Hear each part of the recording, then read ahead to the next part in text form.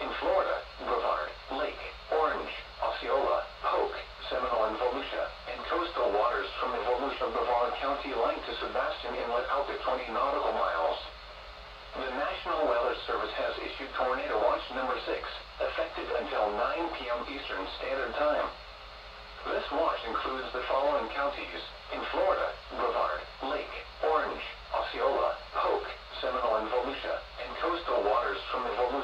Volusia-Brevard County line to Sebastian Inlet out to 20 nautical miles.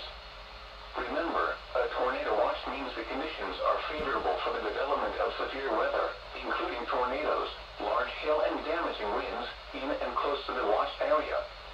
While severe weather may not be imminent, persons should remain alert for rapidly changing weather conditions and listen for later statements and possible warnings. Stay tuned to NOAA Weather